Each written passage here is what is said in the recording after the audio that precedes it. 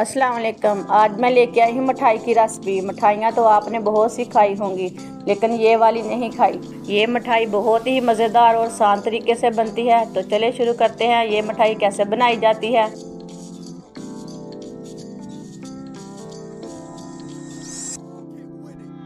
आधा किलो मैंने भुने हुए चने लिए ने। चनों को हम भून लेंगे। ये भुने हुए चने हैं। इसे दोबारा दो तीन मिनट तक भून लेना है। तो चले शुरू करते हैं। चूल्हे को मैंने ऑन कर लिया बुने हुए चने डाल लेंगे।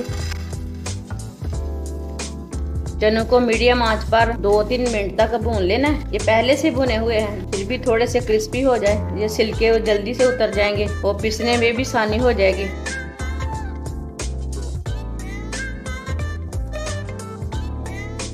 दो तीन मिनट तक इसे मैंने भून लिया। इसे हल्की सी आँच पर भूनना है। चूल्हे को मैंने बंद कर लिया है। अब इसे ठंडा करके छिलके उतार लेंगे। भुने हुए चने हमारे ठंडे हो चुके हैं।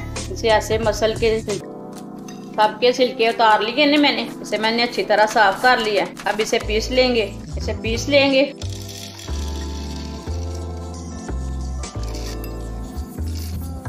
इसे मशीन में डाल के पीस लेना अच्छी तरह इसका आटा बना लेना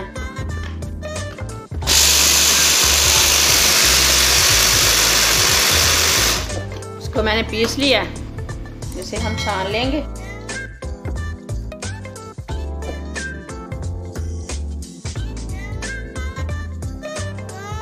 ये अभी नहीं पीसेगी। ये साबुत है, दोबारा पीस लेना।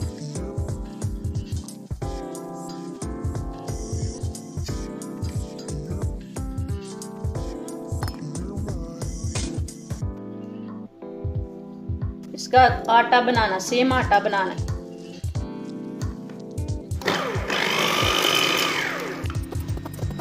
इसे मैंने दोबारा पीस लिया अभी इसका अच्छी तरह आटा बन गया इसे भी छान लेते हैं। जो बचा हुआ था, उसे भी मैंने छान लिया देखिए, अच्छी तरह इसका आटा बन चुका है। अब दूसरी चीज़ों को भी पीस लेते हैं। आधा कप चीनी और काजू डाल लेंगे। ड्राई फ्रूट अपने हिसाब से डालना। इसे भी पीस लेंगे। इसे भी मैंने पीस लिया चीनी और काजू को भी पीस लिया इसका भी मैंने पाउडर बना लिया इसे भी डाल लेते हैं।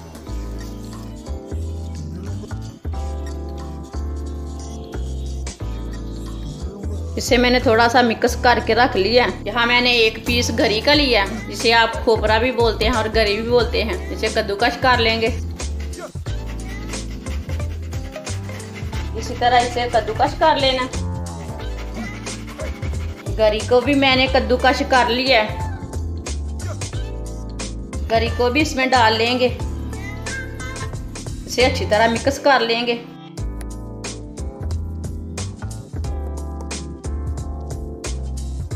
इसे मैंने अच्छी तरह मिक्स कर लिया यहाँ मैंने कढ़ाई ली है।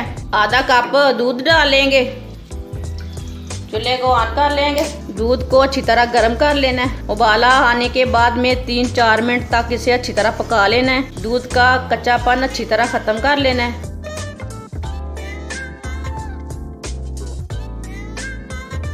दो तीन मिनट तक इसे मैंने पका लिया अब चूल्हे को बंद कर देते हैं। चूल्हे को मैंने बंद कर लिया अब इसे ठंडा कर लेते हैं। दूध हमारा ठंडा हो चुका है। मिक्स किया हुआ आटा डाल लेंगे अब इसमें थोड़ा थोड़ा करके दूध डाल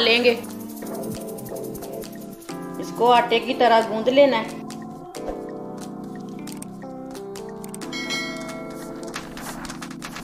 बचा हुआ दूध भी डाल लेंगे।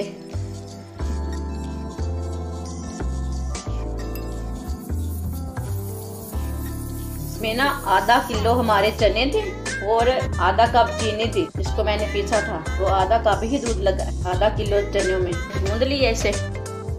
एक मैंने ट्रे ली है इसके ऊपर पेपर रख लेंगे। पेपर को ना थोड़ा सा ऑयल लेके इसे ग्रीस कर लेते हैं। और ये वाला आटा ना इसमें लगा लेते हैं, इसे फैला लेते हैं। इसकी बहुत अच्छी मिठाई बनती है। ये वाला तरीका आपको किसी ने नहीं बताया होगा। एक बार ज़रूर ट्राई करें। इसे मैंने अच्छी तरह सीधा कर लिया है। अब इसे 10 मिनट के लिए ऐसे ही रहने देते हैं। 10 मिनट हो चुके हैं। इसे ट्रे से बाहर निकाल लेंगे। इसको हमने बाहर निकाल लिया इसको काट लेंगे। टुकड़ियाँ अपने हिसाब से बना लेना। इसी तरह ना इसको काट लेना। अब दूसरी साइड से भी कट लगा लेंगे। माशाल्लाह देखें, इतनी अच्छी मिठाई बनी है। ये 10 मिनट में बनने वाली मिठाई है। ये वाला तरीका आपको किसी ने नहीं बताया होगा। अब ट्रे में डाल लेंगे।